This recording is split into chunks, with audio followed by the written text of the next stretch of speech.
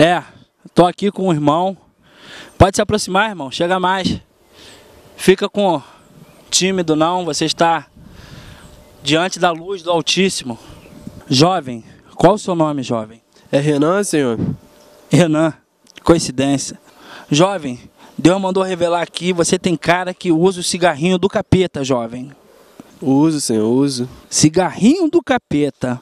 Eu vou tirar esse mal de você agora. Vou estar tá tirando o cigarrinho do capeta da sua vida, tá?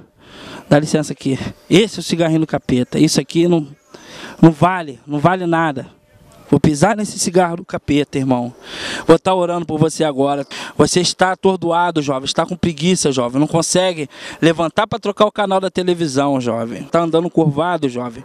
Você está com esse peso nas costas, jovem. O diabo, o diabo está acabando com você, jovem. Fica de joelho, irmão, que eu vou expulsar esse demônio da sua vida. Sai! Sai, demônio! Aqui não é o seu lugar.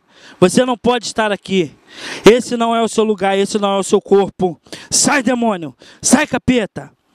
Você não merece estar aqui entre nós. Você não tem que estar aqui nesse lugar. Esse lugar não é para você, capeta. Sai, capeta. Sai! Sai!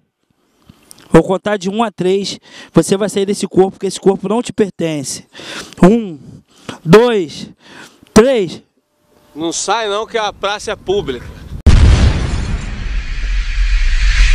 Você que está sofrendo da síndrome do mini pênis, irmão. Você que não consegue arrumar uma namorada, irmão. Você que está sofrendo, irmão.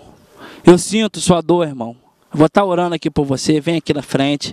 Vem aqui, pode vir aqui no meio, irmão. Vou estar orando por você. Você que sofre pela síndrome dos gases em locais fechados, irmão.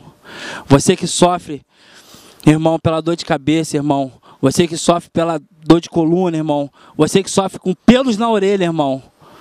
É, irmão. Eu sei o que é isso, irmão. Eu sofria por isso.